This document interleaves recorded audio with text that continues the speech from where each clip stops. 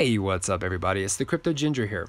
I just want to take a very quick moment and go over some of the more recent news when it comes to Hyperledger and some of the newer developments that are taking place. Also, I wanted to really kind of emphasize that the Hyperledger blockchain project is growing because new members have been recently added to the Hyperledger project. And if you're unfamiliar with the Hyperledger project or even anything having to do with Hyperledger, most certainly check out Hyperledger's website you can actually get a little bit of information about the Hyperledger through Ripple's website just as well. And of course, I do have some past videos that I've done talking about the Hyperledger Quilt and the Interledger protocol, which actually allows for what they call interoperability on the Hyperledger Quilt. I don't want to go too much into the depths of that, just simply because that's something that's been explained not only their websites, but of course in my previous video. So please check that out. I do want to talk about these new members, though. Here we have an article from Coindesk.com talking about how uh, three main companies have actually onboarded themselves to the Hyperledger project, being Deutsche Telekom, Alibaba Cloud, and Citi. Now, the article kind of explains that there are roughly 16 new members of the actual blockchain consortium Hyperledger, and some of the Hyperledger members now that have been onboarded include, again, Alibaba Cloud, Citigroup, and its Citi Venture arm. Uh, the blockchain platform WeTrade, and again, Deutsche Telekom, which is actually the largest telecommunications provider in Europe. A couple of the other additional companies here, you can see that there's a list here uh, as far as, again, some of the newer members. And just as well, looks as though with the latest edition, Hyperledger has grown to more than 260 members. Now, I'm bringing this up because that is a very large member group when it comes to connecting different types of companies together through the Hyperledger. And again, if you're unfamiliar with the Hyperledger quilt, definitely, definitely check that out because that's going to connect so many of these companies together through different types of ledgers, giving them the availability of things such as atomic swap. Further in the article, it talks about Hyperledger's executive director Brian Behlendorf said that the additions prove that interest in the blockchain space continues to grow. And he also states here that the growing Hyperledger community reflects the increasing importance of open source efforts to build enterprise blockchain technologies across industries and markets. The latest members showcase the widening interest in and impact of the DLT or the distributed ledger technology and Hyperledger. So as you can see, just simply having these particular new members is just going to help widen and spread the uh, the interest and also the impact that all these companies will have together on the Hyperledger and the distributed ledger technology. Now, of course, the article goes a little bit further into talking about uh, Hyperledger Fabric. We can see here that John Callahan, who is a senior vice president of Deutsche Telekom and head of the R&D unit T Labs, said building a roaming application on Hyperledger's Fabric was a natural choice. He added that businesses in particular benefit from using an open source, permissioned platform such as one based on Fabric, as it provides a production ready ecosystem ideal for groups with multiple stakeholders. The article continues to state that Hyperledger has been steadily adding new members in recent months, as well as pushing tools for developers to utilize its software. And of course, the article talks about how earlier this month, the consortium released a cryptographic library called Ursa to help blockchain developers more easily create implementations while cutting down on bugs.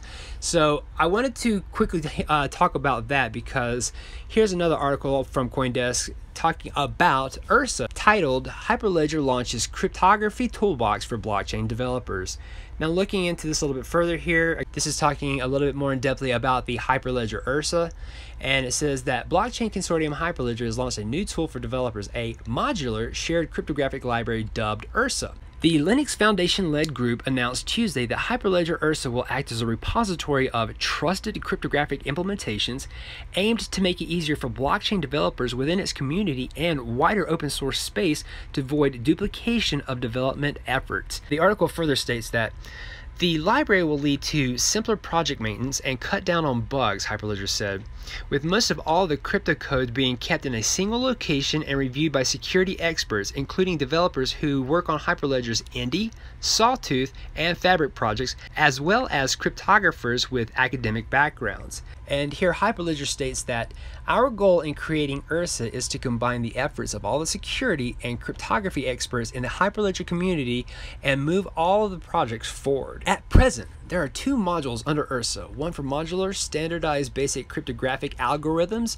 and another called ZMIX relating to more exotic tech such as smart signatures and zero knowledge primitives course, uh, we have here Hyperledger stating that the novelty with Ursa is the modularization and API, which enables blockchain platforms to easily use a wide variety of changeable cryptographic algorithms without having to understand or interact with underlying mathematics. So, again, we have what looks to be not only new members onboarding themselves with the Hyperledger project, but we also have this new development when it comes to uh, uh, this project called Hyperledger Ursa, which again, it looks like it's just simply going to cut down on a lot of the bugs, and it's also going to make project maintenance a lot easier and simpler to work around. Again, if you're unfamiliar with Hyperledger, most certainly check out their website.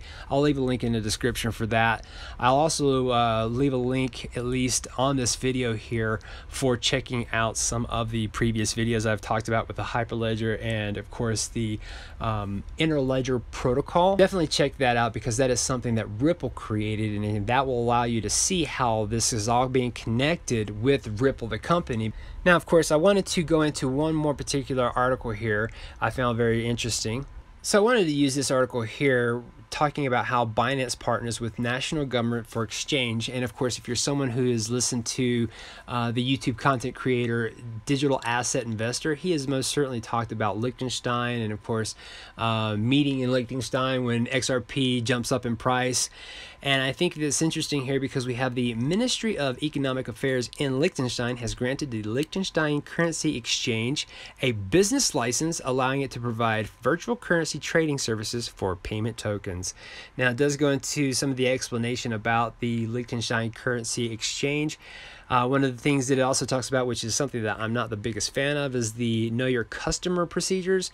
I understand for the sake of regulatory concerns and issues that the know your customer procedure and the AML procedure they are being needed for these companies there and all of that really has to do is with the tax information because anytime anybody makes any capital gains, in most cases, especially in the United States, you're going to be taxed on that. In any other country, it's possibly it's going to be different, but I definitely know in the United States, if you make any capital gains off of things such as crypto, you definitely have to pay taxes on that.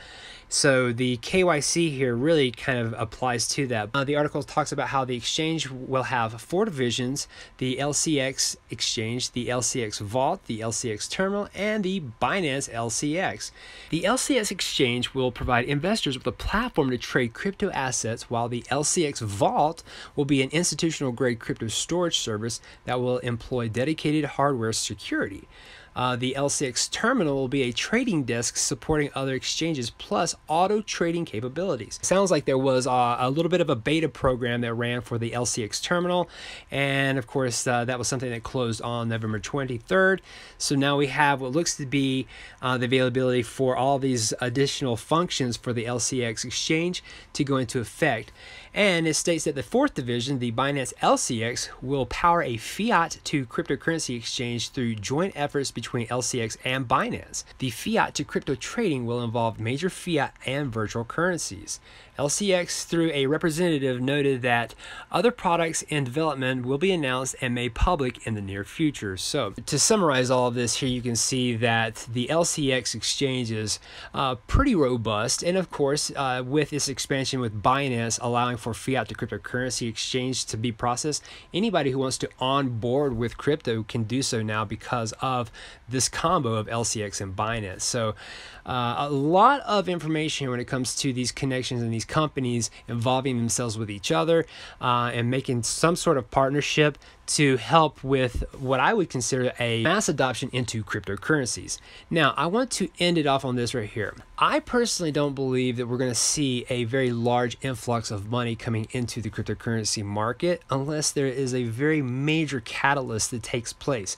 That could absolutely happen in the month of December, which could change the dynamic of the cryptocurrency market in general and the entire ecosystem altogether.